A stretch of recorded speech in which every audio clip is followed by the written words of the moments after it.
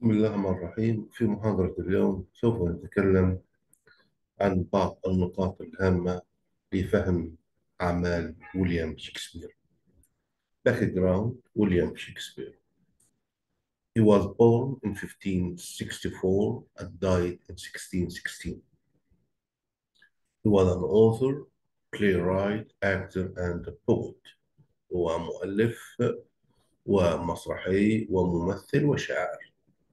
Usually credited with writing 37 plays قد كتب 37 مسرحية and 154 songs و154 سونيتا plays are divided into the early plays وهنا المسرحيات تقسم إلى المسرحيات المبكرة The Taming of the Shrew وترويض النمر وهي أول مسرحية كتبها ويليام شكسبير مسرحية كوميدية The Comedies Much Ado About Nothing Histories المسرحيات التاريخية the Fifth The Tragedies التراجيديات for example King Lear Problem Plays مسرحيات المشاكل Measure for Measure and the Romance Plays والمسرحيات الرومانسية The Winter's Tale قصة الشتاء So William Shakespeare was born in 1564 died in 1616 he was an author playwright actor and poet usually credited with writing 37 plays and 154 songs plays are divided into early plays The Taming of the Shrew the comedies Much Ado About Nothing histories the tragedies problem plays measure for measure, and the romance plays the winter's tale.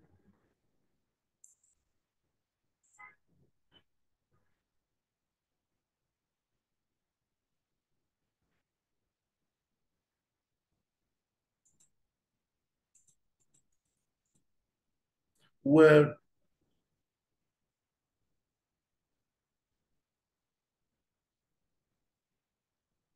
where did the story come from? The story of King Lear. The story of King Lear originated for a hundred years before Shakespeare wrote his version.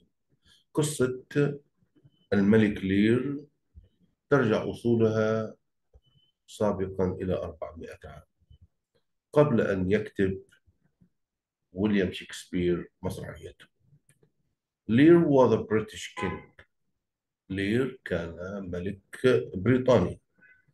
British mythology والميثولوجيا البريطانية refers to a Lear or Lear who was the basis of King Lear's story by Geoffrey of Monmouth in 1137 والميثولوجيا البريطانية تشير إلى لير كأساس لقصة الملك لير والتي كتبت من قبل جوفري أوف مونموث في عام 1137 والتي استخدمها شكسبير كمصدر which Shakespeare used as a source as well as Raphael Honshed Chronicle of England, Scotland and Ireland بالإضافة إلى كتاب رافائيل وهو تاريخ إنجلترا. واسكتلندا وإيرلندا ومن هنا جاءت قصة الملك لير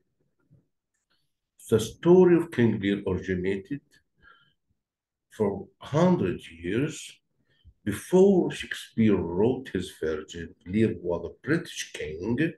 The British mythology refers to a Lear who was the basis of King Lear's story by Geoffrey of Monmouth in 1137, which Shakespeare used as a source as well as Raphael Honshed Chronicle of England, Scotland, and Ireland.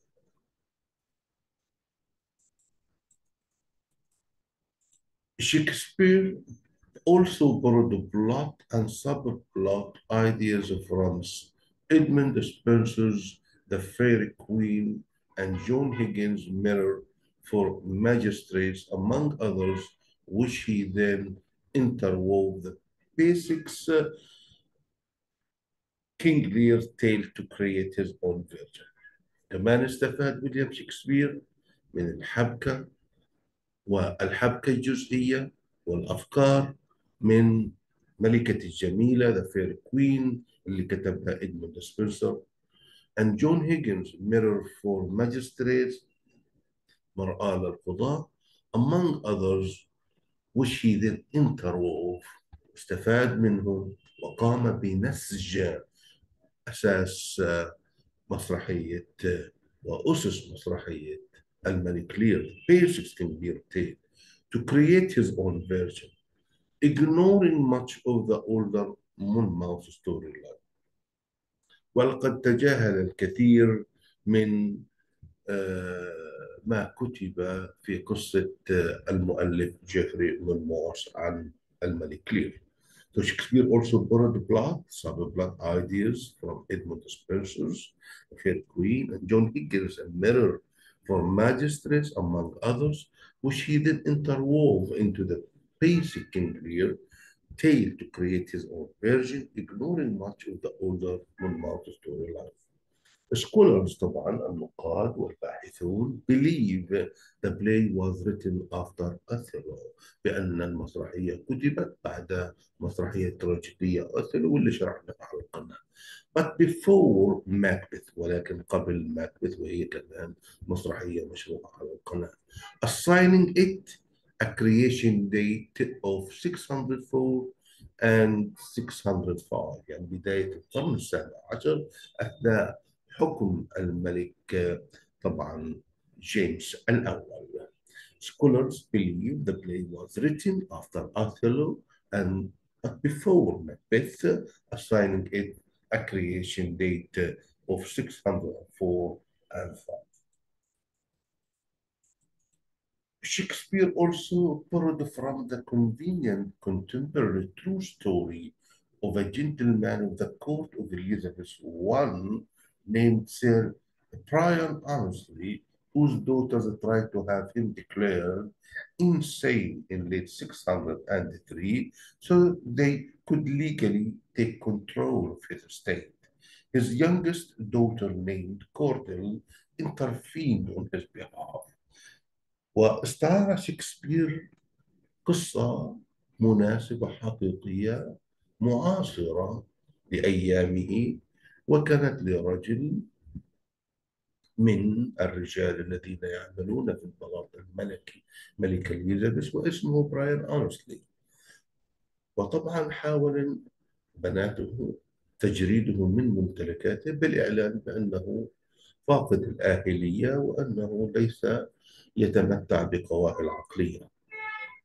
tried to have him declared insane مجنون in late 603 في أواخر القرن السابع عشر so they could legally take, con take control of his estate. His youngest daughter named Cordell intervened on his behalf ولكن بنته الصغرى كوردل تدخلت لصالحه. So Shakespeare also brought from other source a convenient contemporary true story of a gentleman of the court of Elizabeth I named Sir Brian Ansley, whose daughter tried to have him declared insane in year 603 so they could legally take control of his estate. His youngest daughter, named Cordell, intervened on his behalf. Shakespeare language. Look at William Shakespeare. طبعا إحنا سجلنا عدة محاضرات عن لغة ويليام شكسبير لتعزيز الفهم ولمعرفة اللغة والأساليب والتقنيات الأدبية اللي استخدمها ويليام شكسبير وتسليط الضوء أكثر لتعزيز الفهم لدى الطلاب. Many students find Shakespeare difficult to read and to understand. If you understand his language, you can better understand his plays. كثير من الطلاب يجدون صعوبة في قراءة وفهم ويليام شكسبير ولكن إذا أنت فهمت لغته if you understand his language you can better understand his play أنت طبعا حتفهم بشكل أفضل مسرحياته This, these plays are written in two forms مسرحياته كتبت بشكلين بروز النثر and poetry الشعر أو زي ما حكينا prose and verse Many students find Shakespeare difficult to read and understand. If you understand his language, you can better understand his plays. This, these plays are written in two forms, prose and poetry. Figurative language وعندما نتكلم عن عن اللغة البلاغية figurative language واللي إحنا هي جاية من figures of speech اللغة البلاغية figurative language Shakespeare uses figurative language as he speaks with metaphors similes personification طبعا في محاضرة كاملة عن figures of speech على القناة عشان تفهم الكلام اللي أنا بحكيه. Shakespeare uses figures, figurative language اللغة البلاغية as he speaks with metaphors استعارات تشبيهات similes personification التشخيص recognizing when his characters are speaking figuratively helps in understanding the play وهذا يتم إدراكه عندما تتكلم شخصياته باللغة البلاغية وهذا يساعدنا على فهم المسرحية. Figurative language Shakespeare uses figurative language as he speaks with metaphors, similes, and personification, recognizing when his characters are speaking figuratively helps in understanding the play. فيرس وهنا نتكلم عن لغة الشعر التي استخدمها ويليام شكسبير. Most of Shakespeare plays are written in verse. معظم مسرحيات شكسبير كتبت بلغة الشعر. A character who speaks in verse is a noble or a member of the upper class. والشخصية التي تتكلم بلغة الشعر تنتمي إلى طبقة النبلاء والطبقة العليا في المجتمع. Most of his plays focus on these characters ومعظم شخصياته كانت تركز على هذه معظم مسرحياته كانت تركز على هذه الشخصيات. The verse is he used is a blank verse وهو استخدم الشعر الحر. There is no rhyme لا, لا يوجد قافية but each line has an internal rhythm with a regular rhythmic pattern ولكن كل سطر شعري هناك وزن داخلي مع نموذج آه ونموذج موزون منتظم regular rhythmic pattern. The pattern he liked most وكان هذا النموذج هو شعر خماسي التفعيلات تكلمنا عنه كثير. The pattern he liked most was iambic pentameter 10 syllables عشر مقاطع line with accent on every other syllable مقطع عليه شدة مقطع مقطع معروف شدة مقطع عليه شدة وكذا accent and an accented accented and and an accented line so most was iambic pentameter 10 syllable line with accent on every other syllable أول مقطع معه الشدة الثاني عليه إيش شدة دمبك دمبك دمبك على نفس هذا الوزن it is most regular وهذا بشكل منتظم في مسرحيات ويليام شكسبير he sometimes found it necessary to remove a vowel so that a rhythm would work في بعض الأحيان كان هو يقوم بإزالة حرف العلة لكي يحافظ على الوزن Most of Shakespearean plays are written in verse. A character who speaks in verse is a noble or a member of the upper class. Most of his plays focus on this character. The verse he used in blank verse, there is no rhyme, but each line had an internal rhythm with a regular uh, rhythmic pattern. The pattern he liked most was the iambic pentameter, 10 syllable line with accent on every other. It is most regular. He sometimes found it necessary to remove a vowel so that the rhythm would work. Tragedy. protagonist dies while defeating antagonist دائما الشخصية المحورية آه، بتموت عندما يهزم الش... يهزم الشخصية الشريرة in revenge tragedy في تراجيديات الانتقام the protagonist is driven by desire exact revenge. آه، في آه، مسرحيات التراجيدية مسرحيات انتقامية. الشخصية الأساسية دائما يكون مدفوع بالرغبة بالانتقام which leads to his or her demise. وهذا يقود إلى موته أو موتها. The tragic hero وهذا البطل التراجيدي is dominated by a fatal flaw in character ويكون يسيطر عليه عيب قاتل في شخصيته which leads to his or her downfall وهذا يقود إلى سقوطه أو سقوطها. The tragic hero is held in high standing ودائما البطل التراجيدي في مسرحيات شكسبير ينتمي إلى طبقة النبلاء وإلى طبقة عليا وله مركزه في المجتمع making the downfall more tragic for the audience. وهذا يجعل سقوطه طبعا أكثر تراجيديا وأكثر إيلاما وأكثر حزنا وأكثر تأثيرا للجمهور So the tragedy protagonist dies while defeating the antagonist. In revenge tragedy, the protagonist is driven by desire to exact revenge, which leads to his or her demise. The tragic hero is dominated by a fatal flaw in character, which leads to his or her downfall. The tragic hero is held in high standing, making the downfall more tragic for the others. بارل بلوتس كانت مسرحيات ويليام شكسبير تتميز بأن هناك الحبكة المتوازية.